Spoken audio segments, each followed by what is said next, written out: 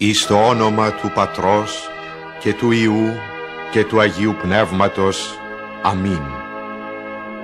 Βασιλεύ ουράνιε παράκλητε, το πνεύμα της αληθείας, ο πανταχού παρών και τα πάντα πληρών, ο θησαυρός των αγαθών και ζωής χορηγός, ελθέ και σκήνωσον εν ημίν, και καθάρισον ημάς από πάσης κυλίδος, και σώσον αγαθέ τας ψυχάς ημών.